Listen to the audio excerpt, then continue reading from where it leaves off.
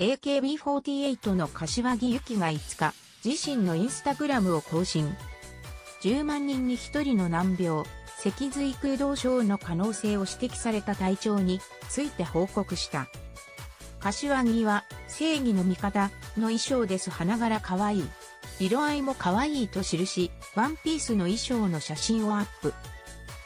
現在の私は少し首が痛いです。とても痛い時と少し良くなる時を繰り返しております。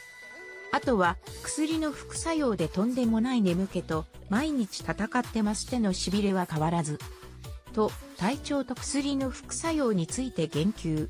続けて、でもとっても元気です。温かいコメントもありがとうございます。また何かありましたら報告しますねと心配するフォロワーに向けて綴った。この投稿には、衣装似合ってて可愛い無理しすぎないでね。何かあったらいつでも弱音吐き出してね。報告ありがとう。表情に癒されました。ゆきりんの話を聞いたら少し安心したなどのコメントが寄せられた。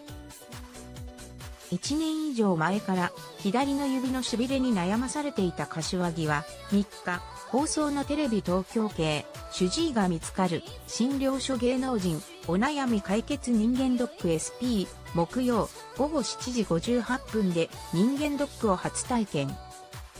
MRI 検査で脊髄腫瘍の疑いがあるとされ、空洞が脊髄を圧迫して手の痺れを起こす脊髄空洞症の可能性を指摘された。